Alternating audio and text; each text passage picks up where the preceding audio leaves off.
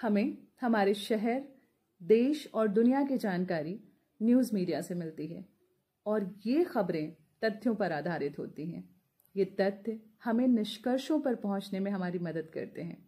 उदाहरण के तौर पे कहा जा रहा है कि जो कोरोना की तीसरी लहर है, ये बच्चों के लिए बहुत खतरनाक हो सकती है और इस तीसरी लहर की आने की संभावना अक्टूबर से दिसंबर के बीच में बताई जा रही है। तो ये जो खबरें हमें मिल रही हैं, ये जो जानकारी हमें मीडिया के ज़रिए मिल रही है, ये कहीं ना कहीं हमें तैयार कर रही है कि मानसिक रूप से तैयार हों कि बच्चों के स्वास्थ्य को लेके हमें बहुत अलर्ट रहना है।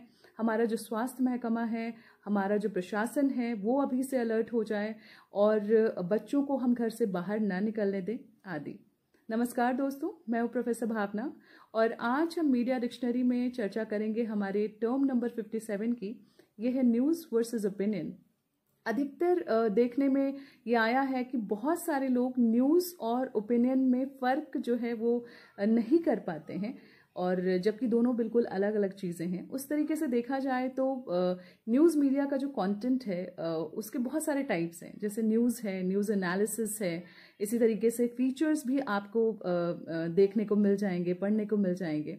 इसके अलावा आप, जो ह्यूमन इंटरेस्ट स्टोरीज होती हैं, वो भी हमें पढ़ने को मिलती है।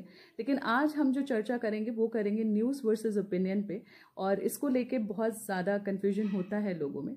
तो अगर मैं न्यूज़ रिपोर्टिंग की बात करूँ तो न्यूज़ जो है वो हमेशा फैक्चुअल होती है ऑब्जेक्टिव होती है और उससे प्रूव किया जा सकता है। वहीं पर जो ओपिनियन होते हैं बेसिकली वो किसी का पर्सपेक्टिव है, किसी का नज़रिया है, किसी का पॉइंट ऑफ़ व्यू है तो आप ओपिनियन आर्टिकल में सामने वाला जो अपना नज़रिया रख रहा है उससे सहमत या असहमत हो सकते हैं।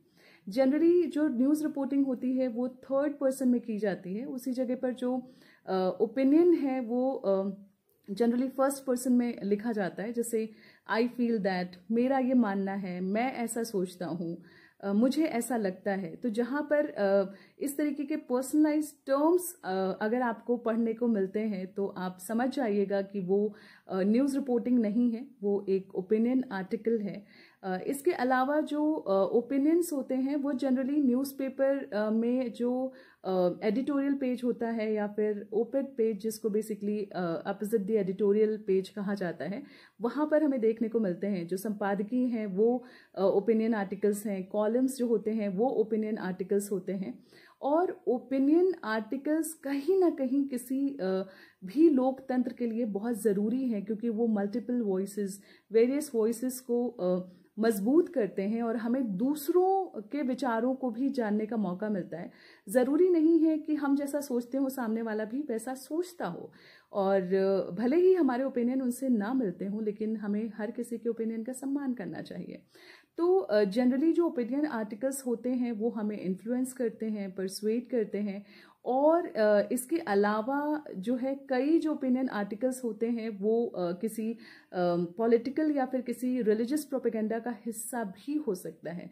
तो ये हमें जानना और समझना है कि कौन क्या लिख रहा है, क्यों लिख रहा है और उसके ज़रिए वो हमें किस तरीके से इन्फ्लुएंस करना चाह रहा है तो जनरली उसके लिए हमें मीडिया लिटरेट होना होगा और वही हमारा प्रयास है इस मीडिया डिक्शनरी के ज़रिए कि हम मीडिया को बेहतर ढंग से समझें मीडिया को और करीब से जानें, क्योंकि मीडिया हम सबको प्रभावित करता है। जल्द हाजिर होती हूँ एक और नए टर्म के साथ मीडिया डिक्शनरी में। थैंक यू सो मच और जी हाँ अगर आपको ये वीडियोस इन्फॉर्मेटिव लगते हों तो प्लीज़ इसको अपने फ्रेंड्स के साथ भी शेयर कीजिएगा और इस चैनल को सब्सक्राइब भी कीजिएगा. Thank you so much